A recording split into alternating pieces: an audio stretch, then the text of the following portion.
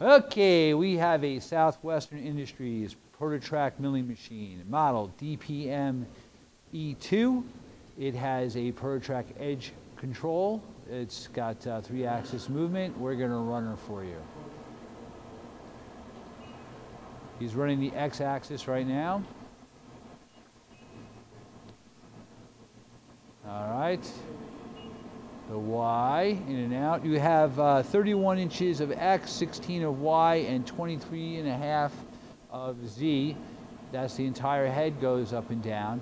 Also, when you move the quill, it's got a scale to do the counting when you move the quill manually.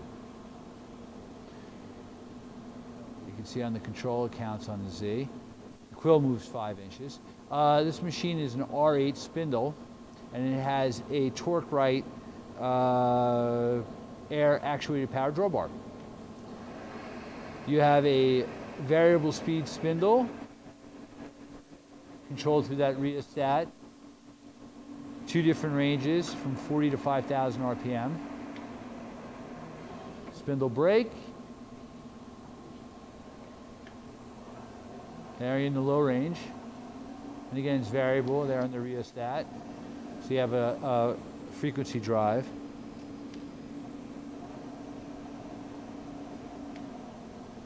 Okay. Again, you have ball screws on the X, Y, and Z axis and uh, separate servo motors.